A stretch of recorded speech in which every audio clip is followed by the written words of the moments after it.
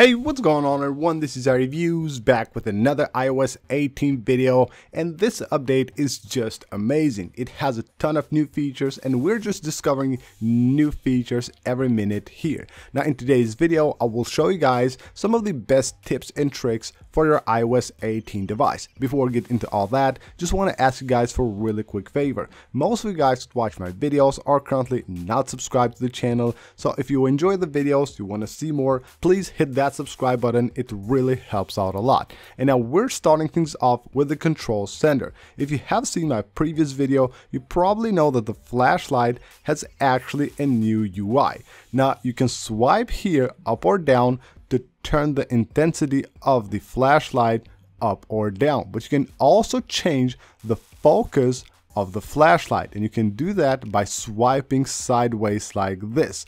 So you can see how cool that is. Wherever you need to have the focus of your flashlight, you can just swipe like this and it's done. Now when you go to the new settings app of iOS 18, you will find a pretty cool new feature under the battery section. So you go to battery and then go to charging right here. And we have the charge limit. Previously on iOS 17, you had the ability to turn the charge limit to 80% and that's it. But now with iOS 18, you will be able to actually choose that charge limit. So you will have the option from 80% to 100% in 5% increments. So you can choose where you want your charging limit to be. You can see right here, keep the charge limit below 100% helps preserve the battery lifespan over time. You can go ahead set it here or change it anytime you want.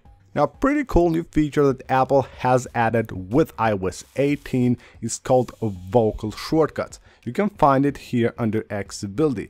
So you go here, scroll down and you will find here vocal shortcuts. Set up vocal shortcuts and then tap on continue.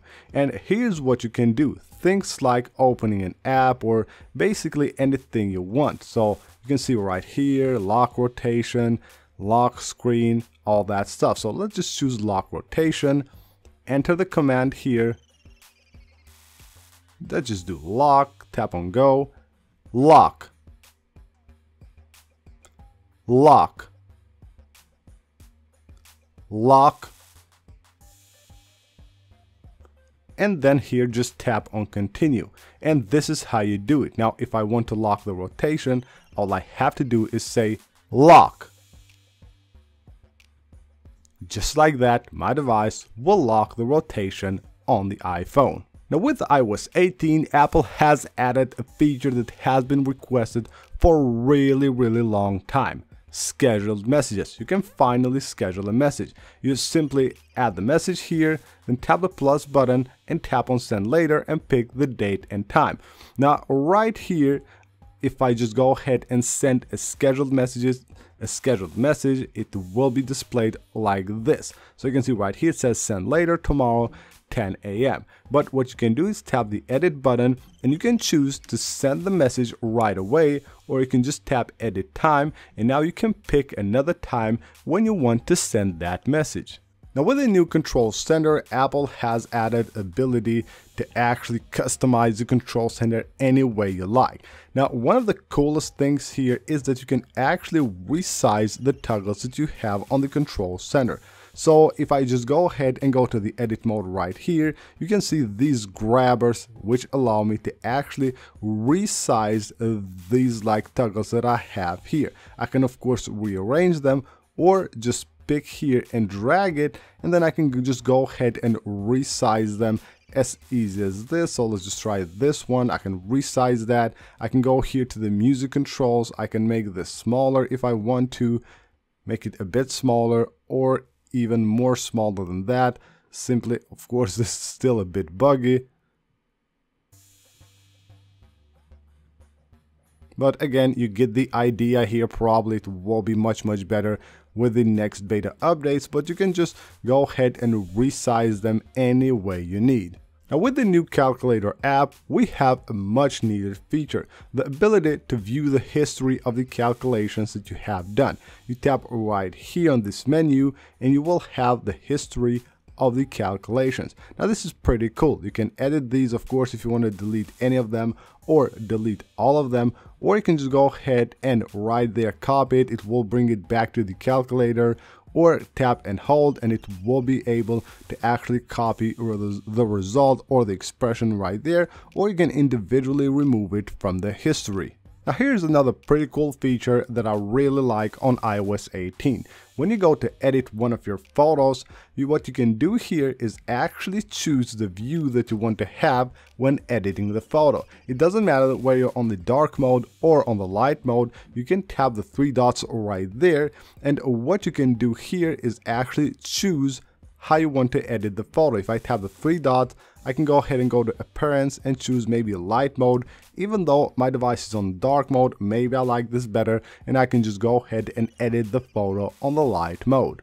Now with iOS 18, Apple has added a new stock app called Passwords. Now this is an amazing app and as you know, when Apple does something, they do the best. And they have a new Passwords app which allows you to have all the passwords saved in one place. You will have your codes sent for different websites, maybe your logins. You will have your passwords, your Wi-Fi passwords. They're all saved in one place. Now what's really cool with the Wi-Fi passwords is that Wi-Fi passwords that you have saved will have the ability to generate a QR code. So if you want to share this with someone, just tap on show QR and that's it. You can share any of your saved passwords using a QR code.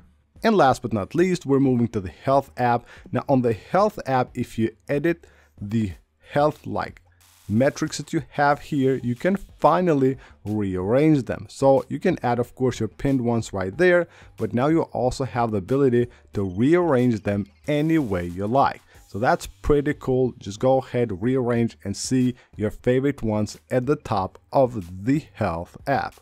So these are some of the newest features of iOS 18. Of course, a few different tips and tricks on how you can actually use them and how to get the best out of your iOS 18 device.